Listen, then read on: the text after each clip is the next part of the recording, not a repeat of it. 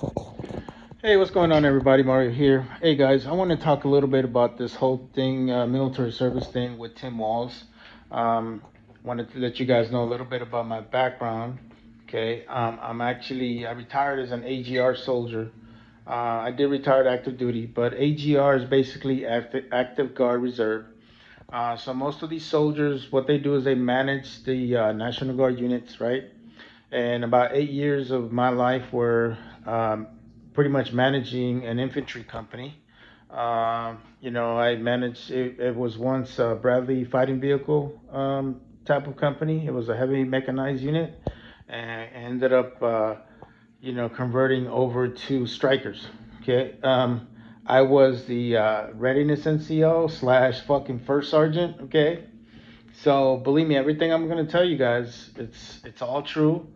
I'm going to tell you guys about my experiences with uh, some of these uh, these people that like to dodge deployments, and I really feel that what happened with Tim Walz is very fucking true because I saw it. Okay, so um, my first deployment, you know, and pretty much every deployment that I went to, you always before a unit goes anywhere, you get what they call a warning order or a warno basically telling you where you're going, um, you know, to prepare the unit for it, and then they start giving you like uh, you know timelines of where you need to be at, and also taking your your equipment and your personnel to uh, an active duty post in order for you guys to do your 90 to 125 day certification before you deploy to Iraq. Okay, so um, Tim Walz is basically a command sergeant major who's supposed to be the senior leader, senior enlisted leader of a battalion, right? So think about it. He, the battalion commander is right here. The command sergeant major is right here. That's his right hand fucking person, right? So Tim Walz was a command sergeant major, which is very impressive, you know, because it's very hard for you to make it to that level.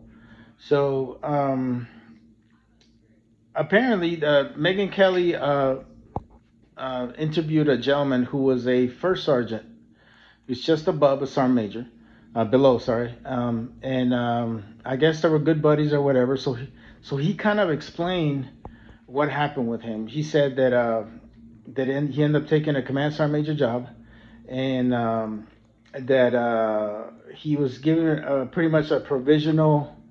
It was a provisional uh, promotion uh, meaning that they that he would need to uh, complete Sergeant Major Academy when he would return back from deployment. I, that happened to me as well.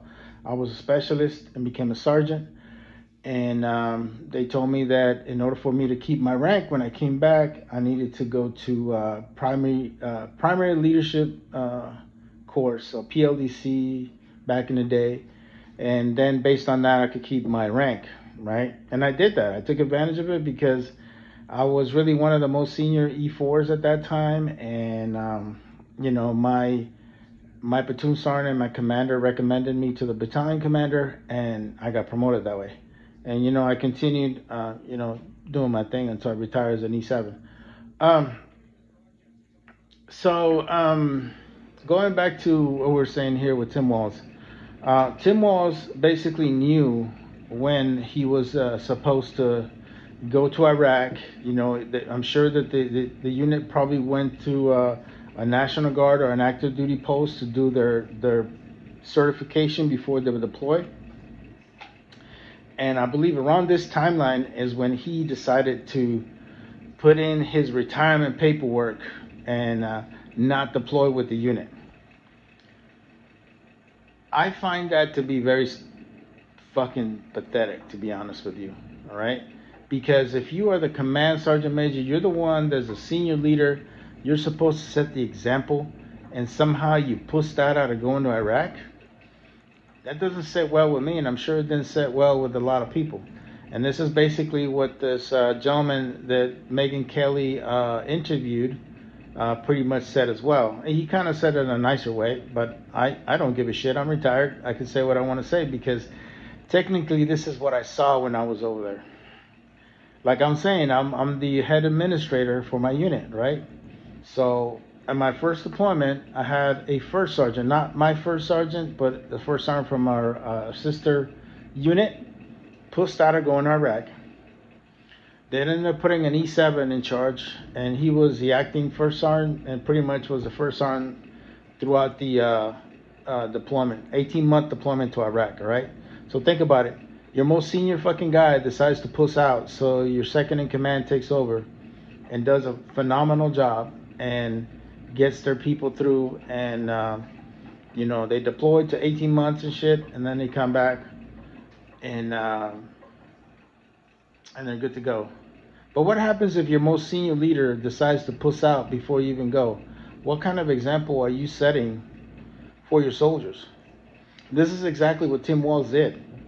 Tim Walz somehow found a loophole and decided to fucking uh, retire before his unit went and deployed to Iraq. Okay? And uh, somehow pushed out of it. I don't know what he said or what he did but uh, must have been significant in order for the National Guard to retire him. Okay. Um, so technically, I mean, this guy is no no different than uh, than uh, I believe guy named Jim Carrey or what, whatever his name is, the guy from Utah, the guy that uh, got a Purple Heart for not doing his fucking job and people in his unit exposed his ass. Um, and we're starting to see that shit now. We're starting to see guys that were in this previous unit calling them out, saying how the fuck do you become the command sergeant major of a battalion and the most senior leader, and you're supposed to set the example and you push out of a fucking deployment. I don't know about you guys, but I was a soldier. I enjoyed that shit. To me, it was like I don't want to practice. I didn't want to do training and practice and practice for something I wanted to be part of combat. You know, I wanted to I wanted to experience that shit, and I experienced that plenty. so, um, but what I would tell you is that uh, what strikes me as odd is that this is the same guy that pushed out of going to Iraq, and was one of the guys that got elected to Congress, and was a guy that was trying to uh, be against the government for the Iraq War.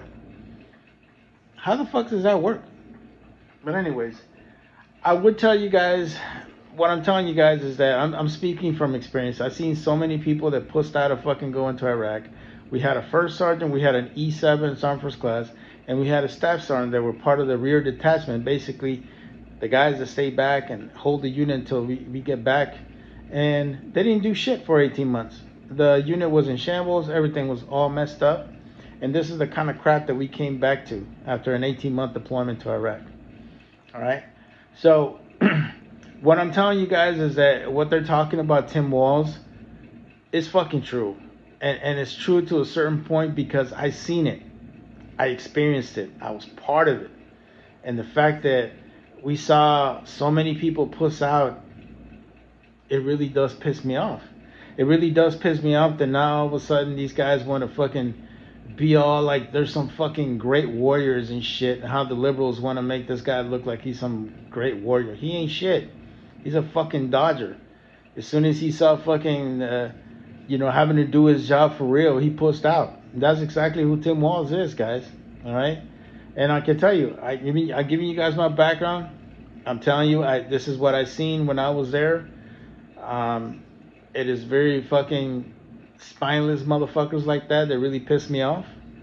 It was also one of the reasons why I retired because I got tired of all these spineless motherfuckers trying to tell me how to do my job afterwards. They, they didn't fucking do shit. But that's for another video, guys. But anyways, I just want to give you guys my two cents on Tim Walz. And I can tell you guys that most likely he found a loophole to get the fuck out of there before he could go to Iraq. Which in reality, do you guys want a Dodger as your fucking vice president? I know I don't. But anyways, that's all I got, guys. Like always, God bless you. God bless the United States of America. And I'm out.